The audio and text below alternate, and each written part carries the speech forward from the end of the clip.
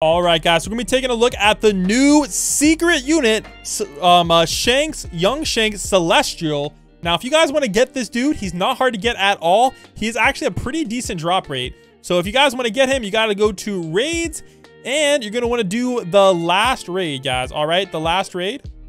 Marines Fort number six and number five. Six has the highest drop chance of getting him. So do that one for sure. And I know a lot of people don't like it when I use glitch for the showcases. So uh, we will not be doing that. So uh, we're going to take a look at him at level one. All right, my data's loading in. Give it a second.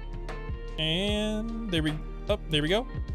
Yeah, I don't know what's up with his face. It'll get fixed because, like, you see it's fixed down here. So uh, some, something weird going on with his face, guys.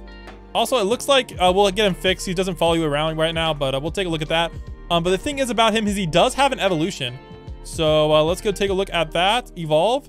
You guys can get the ultimate unit, Shanks. You're going to need 100 Straw Hats and the Griffin, and you'll be able to get that. So uh, let's go hop on over into infinite mode, and let's go see how good this guy is. Here we go. All right, so here we go, guys. So his starting cash is 750 to place him. So let's get him down real quick. All right, bang. Mm. Yeah, his face fell off again. I don't know what's going on. And he's bleed at the start. 7,000 bleed is actually really good. He is a really, really good secret unit, guys. All right, let's take a look at his placement count as well while we're here. Um, he has a very decent placement count as well. So uh, not, not bad at all. So let me get this guy on last. 7,000. All right, 10,000, 17,000. Not bad at all. And then slash three.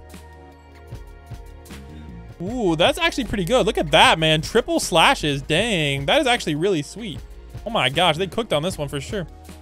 All right, next upgrade, 24,000 and then slam. Probably get a new name later, but we'll see.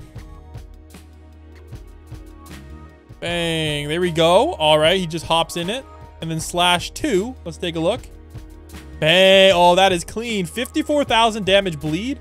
Now, that's not bad at all. Again, he has no trait on him, and he does have an evolution. And if his stats are bad, don't worry, he will get buffed. But there you go, guys. There is the new showcase on our boy, Young Shanks, the new secret unit from the raids.